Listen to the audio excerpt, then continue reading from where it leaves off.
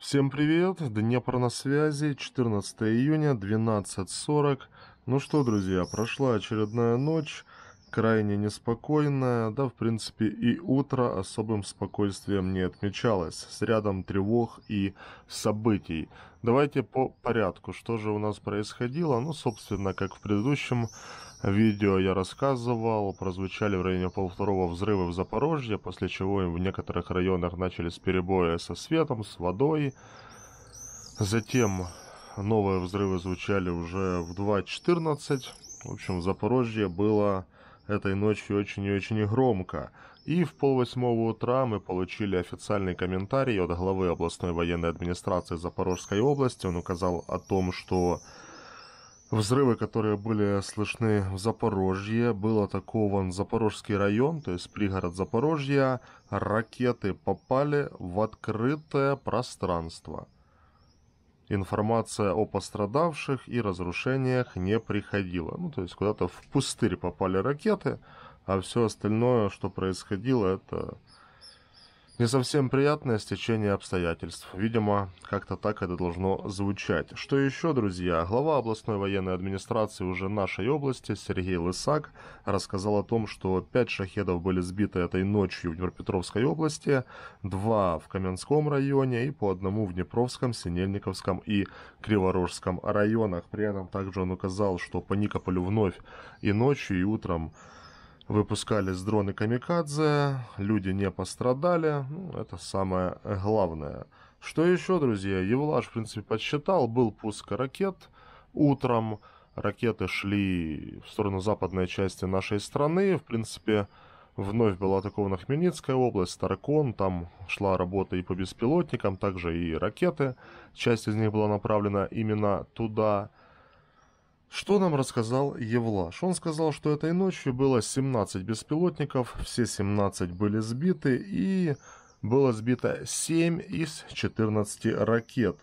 Сбить не удалось 3 крылатых ракеты Х-101, 3 баллистические ракеты Искандер-М, предварительно именно они били по Запорожью, и одна ракета Кинжал. Кинжал не сбили. Вот такие, друзья, дела. Ну, при этом во время тревоги еще в пол одиннадцатого вновь были слышны взрывы, был взлет МИГ и сообщалось о пуске еще ракет «Кинжал» в сторону той же Хмельницкой области Старкона. При этом взрывы были слышны и в Киевской области, сообщали о работе ПВО. Ну, вы знаете, даже в случае успешной работы ПВО, ой, каких хлопот все это дело могет доставить. Третий день, да уже какой, до сих пор пожар на предприятии в Киевской области, никак не могут его побороть, очень сильно горит. В общем, там до сих пор вот после падения обломков, как сказали, вот такой вот сильный пожар. Ну, в принципе, такие, друзья, дела, такая обстановка. На данный момент тихо, без воздушной тревоги. Вам желаю хорошего дня. Спасибо, что живой, как говорится, пережили очередную ночь. Ну, посмотрим, что этот день нам принесет. Надеюсь, хоть что-то хорошее. Слишком много негатива, немножечко уже как-то, да, и задолбалось. Я думаю, что вы разделяете это мнение со мной.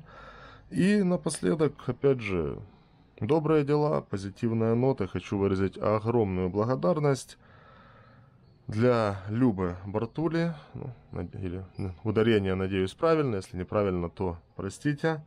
В общем, Трир, Германия, получил там, на PayPal, человек перевел два перевода, один для моих нужд, один для нашего поплавка. Огромное спасибо, получил. Все это дело есть.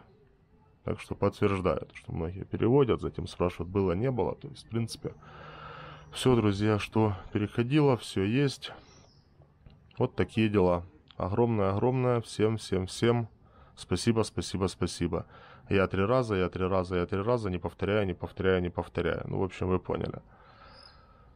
И сегодня, возможно, будет стрим с рыбалки. Кому это интересно, друзья, напоминаю, что у меня есть еще и рыболовный канал. И, наверное, стрим сегодня будет с него. Так что мониторьте. Ну, я, может, в следующем видео там укажу более точное время, ну и банда, отталкиваясь от того, что стрим будет на канале по рыбалке. Все, всем спасибо. До нового выхода на связь.